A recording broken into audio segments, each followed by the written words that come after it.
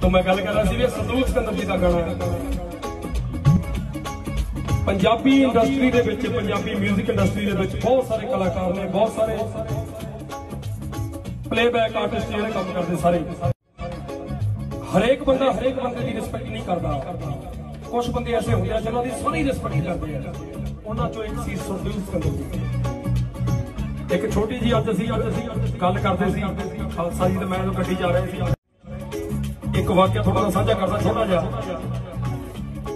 ਐਦਾਂ ਜਦੋਂ ਮੈਂ ਪੈਲਸ ਚ ਗਾਈ ਜਾਂਦਾ, ਅਸੀਂ ਇੱਥੇ ਸਾਰੇ ਗਾ ਰਹੇ ਆ ਨਾਲ ਨਾਲ ਪੈਲਸ ਪ੍ਰੋਗਰਾਮ ਚੱਲਦੇ ਸੀ ਦੋ।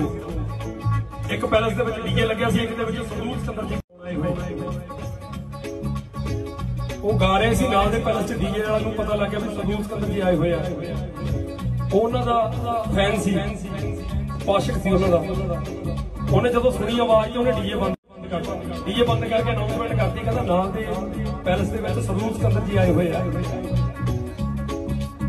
ਕਹਿੰਦਾ ਡੀਜੇ ਬੰਦ ਕਰ ਦਿੰਦੇ, ਉਹਨਾਂ ਨੂੰ ਸੁਣਦੇ ਕਹਿੰਦਾ ਇਦਾਂ ਦੇ ਫਨਕਾਰ ਹਰ ਰੋਜ਼ ਨਹੀਂ ਸੁਣੇ ਜਾਂਦੇ।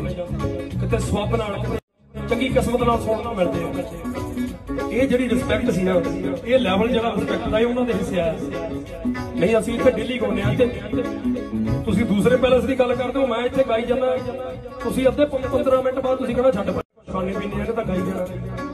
ਨਹੀਂ ਮੈਂ ਵੈਸੇ ਗੱਲ ਕਰਦਾ ਪਰ ਉਹਨਾਂ ਦਾ ਦਰਜਾ ਬਹੁਤ ਉੱਚਾ ਸੀ ਬਹੁਤ ਸਦੀਆਂ ਬਾਅਦ ਕੋਈ ਚੰਗਾ ਗਾਉਣ ਵਾਲਾ ਪੈਦਾ ਹੁੰਦਾ ਉਹ ਸੱਚੀ ਉਹ ਸਾਰੇ ਕਹਿੰਦੇ ਆ ਵੀ ਇੱਕ ਯੋਗਦਾਨ ਤੋਂ ਹੋ ਗਿਆ ਸੱਚੀ ਉਹਨਾਂ ਤੋਂ ਹੋ ਗਿਆ ਇਹ ਹੀਰੇ ਨਹੀਂ ਹੋਣੇ ਜਿਹੜੇ ਦੁਨੀਆ ਤੋਂ ਚਲੇ ਗਏ ਸਾਡੀ ਸਾਰਿਆਂ ਦੀ ਸਰਮਾਜਰੀ ਹੈ ਸਾਡੀ ਸਾਰੀ ਟੀਮ ਦੀ ਉਹਨਾਂ ਨੂੰ तमाम ਜ਼ਿੰਦਗੀ ਜਦੋਂ ਤੱਕ ਗਾਉਂਦੇ ਰਹਾਂਗੇ ਯਾਦ ਰੱਖਾਂਗੇ ਇੱਕ ਵਾਰੀ ਫੇਰ ਹੋਈ ਫੇਰ ਹੋਈ ਫੇਰ ਹੋਈ ਕਿਸੇ ਨੂੰ ਲੱਗਦਾ